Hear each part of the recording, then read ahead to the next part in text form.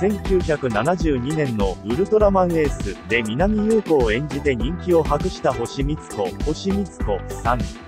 結婚後は引退しましたが、娘も女優になったという情報がありました。今回は星さん親子の詳細と気になる現在を確認しましょう。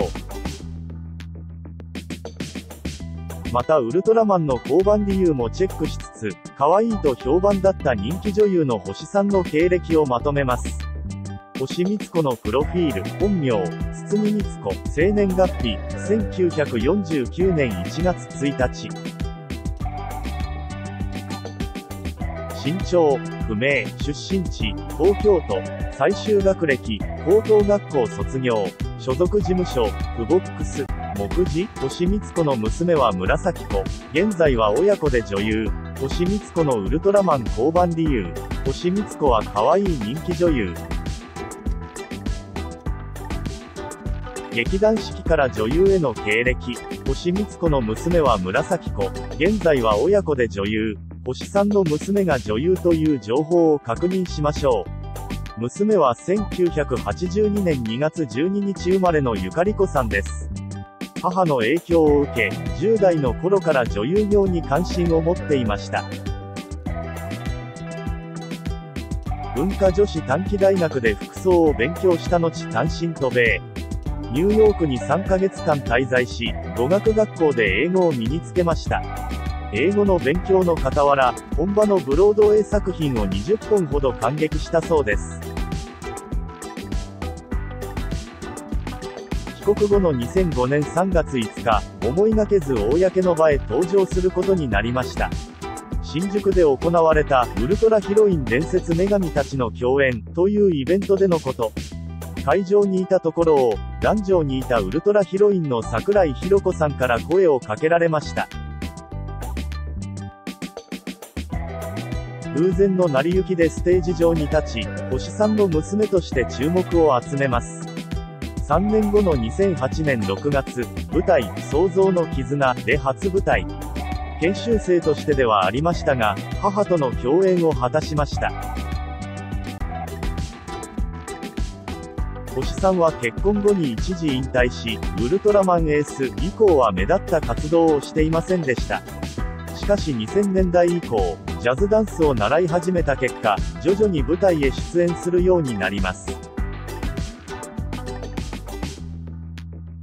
ダンスを通して演技への情熱が蘇ってきたようで、今では女優や声優として活動を再開していました。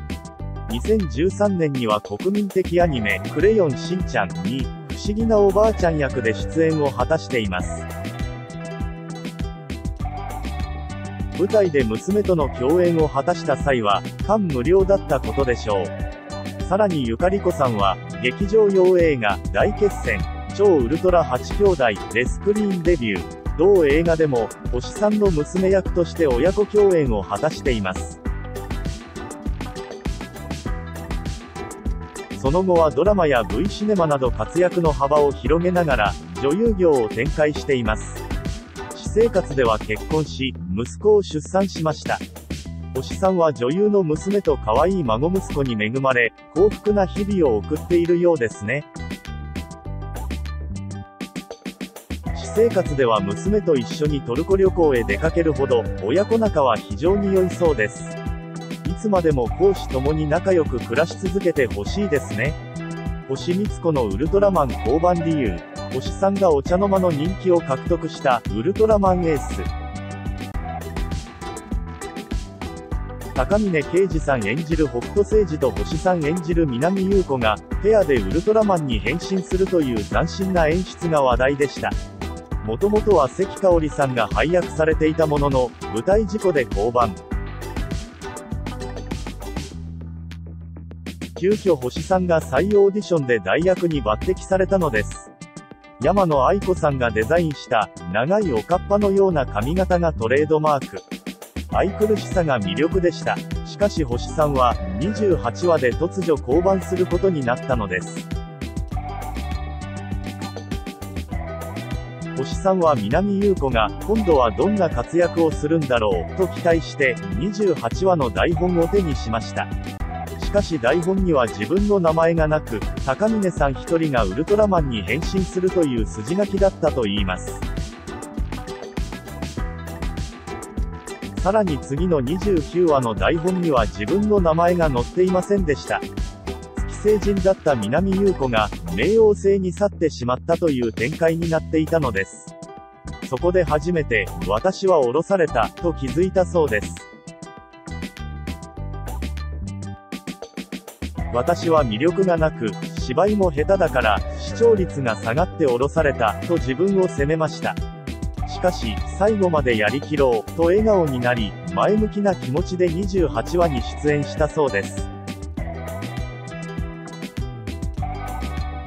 降板理由ははっきりとはわからないものの、どうやら星さんが現場で気に入られていなかったためのようですね。衣装を隠されるいじめを受けていたという噂も流れており、星さんを締め出す準備が密かに進められていた可能性がありそうです。いずれにせよ彼女は途中交番に対するわだかまりを抱いたまま結婚し、芸能界を引退することになりました。そして40年後の2012年、九段下の科学技術館で行われたスーパーフェスティバル59にウルトラマンエースの隊員として登場。当時の子供たちも集まり、隊員たちに声援を送りました。星さんはファンたちの声援に感動し、目を潤ませました。そしてこの場で、途中交番の行きさつを公表します。北斗星司を演じた高峰さんは、交番の行きさつは初めて知った、とコメント。その上で、僕も思いやりが足りなかったけど、南隊員と再会できて、皆さんに喜んでもらえたのは嬉しい、と喜びを表しました。ファンたちからは、ありがとう、という掛け声と、大きな拍手が送られます。長年のわだかまりを、星さんはようやく解消できたのです。彼女にとってもファンにとっても、大きな意味のあるイベントだったと言えますね。星光子は可愛い人気女優、劇団四季から女優への経歴。星さんは、ウルトラマンエースで人気を博した、可愛い女優さんでした。瞳が大きく、顔が小さい星さんは、現代人から見ても文句なしに可愛い女性ですよね。あまり知られていませんが、彼女はもともと劇団四季の団員でした。まだミュージカル路線ではなく、セリフ劇がメインだった頃の式に所属し、王様の耳はロバの耳や青い鳥に出演。1972年に大和田伸也さんが率いる演劇集団、プラスワンに参加。同年にオーディションを経て、ウルトラマンエースに出演します。ウルトラマン以外にも、緊急指令14、10から10やアイアンキングなど、特撮番組をメインに活動。その後はサラリーマンと結婚し、女優業を引退しました。2000年頃からジャズダンサーの宮崎アクオノレさんの影響でジャズダンスを始めてから芸能活動を再開するのです。ウルトラマンエースでは嫌な思い出もありましたが、今ではわだかまりもなく、幸福に暮らしている様子ですね。ぜひ今後も定期的にファンたちとの交流イベントなどで元気な姿を見せてほしいものです。